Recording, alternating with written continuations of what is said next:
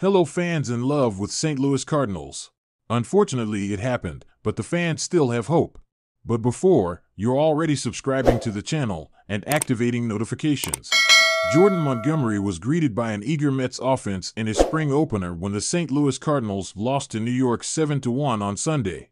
Montgomery, who was a great addition to the Cardinals' starting rotation at last year's trade deadline, has had a rocky start to his spring. He was scored for four runs, three of them earned, in the first two innings, but was able to end his day on a high note with a 1 2 3 third.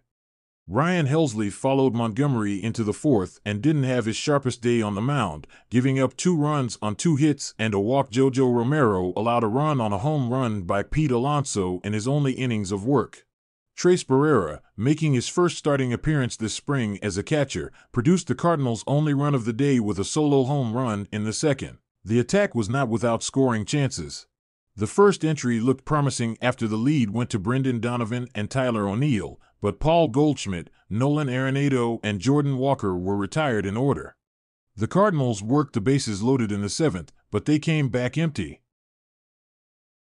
The back end of the St. Louis was a bright spot in the defeat. For relievers combined to stop the Mets scoring and allowed just two hits in the final four innings. The Cardinals are now 5 to 3 in the Grapefruit League and host the Houston Astros at Roger Dean Stadium on Monday. Coverage begins at 12 p.m. on Bally Sports Midwest.